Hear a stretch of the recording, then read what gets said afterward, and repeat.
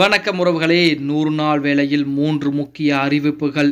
இந்த மாதிரி தினம் தினம் வெளியாகக்கூடிய நூறு நாள் வேலை சம்பந்தமான அனைத்து விதமான தகவலையும் நீங்கள் உடனுக்குடனே தெரிஞ்சுக்கணும்னு நினச்சிங்கன்னா நம்ம சேனலை சப்ஸ்கிரைப் பண்ணி ஃபாலோ பண்ணிக்கங்க. அப்படி இந்த வீடியோ பிடிச்சிருந்துச்சு அப்படின்னா ஒரு லைக் பண்ணுறதுக்கு மட்டும் மறந்துடவே மறந்துடாதீங்க. மகாத்மா காந்தி ஊரக தேசிய வேலை வாய்ப்பு உறுதியளிப்பு திட்டம். அதாவது நூறு நாள் வேலை குளத்து வேலை அப்படின்னு சொல்லக்கூடிய இந்த வேலையை பொறுத்த வரைக்கும் தமிழகத்தில் தற்போது எங்கேயுமே வேலைகள் என்பது கொடுக்கறது கிடையாது. அப்படியே வேலைகள் கொடுத்தாலும் அதுக்குரிய சம்பளம் பார்த்தீங்க அப்படின்னா எப்பொழுது கொடுப்பார்கள் அப்படிங்கிறது மிகப்பெரிய ஒரு கேள்விக்குறி. ஏன்னா இப்போ சம்பளத்தை பொறுத்த வரைக்கும் தமிழக அரசு நம்ம குறை சொல்லவே முடியாது. இப்போ கடந்த ஒரு சில அதாவது வந்து ஒரு முறை பார்த்தீங்க அப்படின்னா தமிழக அரசுடைய பணத்தை எடுத்து தான் அனைவருக்குமே அந்த மீதம் இருக்கக்கூடிய பாக்கி சம்பளமானது கொடுக்கப்பட்டது. இன்ன வரைக்குமே மத்திய அரசு ஆயிரத்தி அறுநூறு கோடி ரூபாய்க்கு மேல தமிழகத்திற்கு மட்டும் பாக்கி வைத்திருக்காக அந்த நூறு நாள் வேலையிலே அப்படின்னு சொல்லி தகவலும் வெளிவந்துகிட்டு தான் இருக்கிறது. உங்க அனைவருக்குமே தெரிஞ்சிருக்கும்.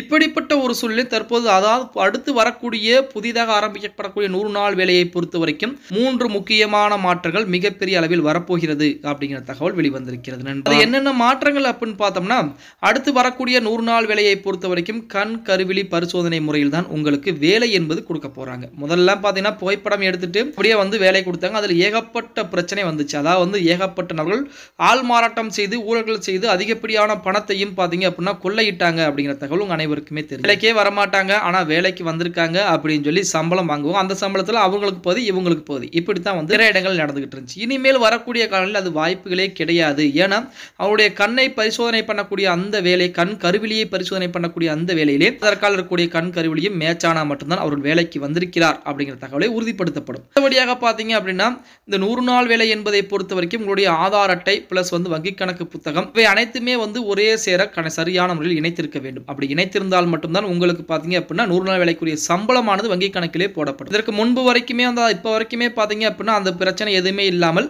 நூறு நாள் வங்கி கணக்கு புத்தகம் மட்டும் அக்கௌண்ட் நம்பர் கொடுத்திருந்தா அதன் மூலம் வங்கி கணக்கிலே சம்பளமானது ஏற்றப்பட்டது. இனிமேல் பார்த்தீங்க அப்படின்னா அதாவது ஆதார் பேஸ்டு பேமெண்ட் சிஸ்டம் அப்படிங்கிற நடைமுறையை மத்திய அரசு கொண்டு வந்திருக்காங்க. அதுவும் இனி வரக்கூடிய நாட்களில் வந்து கண்டிப்பாக ஆதார் அட்டை அடிப்படையில் தான் உங்கள் வங்கி கணக்கிலே பணமானது செலுத்தப்பட இருக்கிறது. மூன்றாவதாக பார்த்தீங்க அப்படின்னா நூறு நாள் வேலை நூறு நாள் வேலை மாதிரி நடத்த வேண்டும். அதாவது இவ்வளவு வேலைகள் செய்தாக வேண்டும் அப்படின்னா அவ்வளவு வேலைகள் கண்டிப்பாக அந்த மக்கள் செய்தே ஆக வேண்டும் அப்படின்னு நிலைமைக்கு தள்ளப்படுவார்கள். இதுக்கு முன்னாடி வரைக்கும் எப்படி இருந்தாங்க அப்படிங்கிற தகவல் உங்கள் அனைவருக்கும் தெரியும். ஏன்னா நீங்கள் அனைவருமே நூறு நாள் வேலைக்கு போன நபர்கள் தான். அப்படிங்கிறப்ப எவ்வளோ வேலை செஞ்சீங்க எவ்வளோ நேரம் படுத்திருந்தீங்க எவ்வளோ நேரம் உட்காந்து உட்காந்துருந்தீங்க எப்படி அரட்டை அடிச்சிங்க அப்படிங்கிற தகவல் உங்கள் அனைவருக்குமே தெரிஞ்சிருக்கு. ஆனால் இனிமேல் வரக்கூடிய நாட்களில் பார்த்தீங்க அப்படின்னா கண்டிப்பாக நூறு நாள் வேலையில் வேலை என்பது செய்தாக வேண்டும் அப்படிங்கிற தகவலுமே பார்த்தீங்கன்னா மூன்று முக்கிய அறிவிப்புகளாக மிக விரைவாகவே வெளிவரப் போகிறது அப்படிங்கிற தகவலும் வெளிவந்திருக்கிறது நண்பா.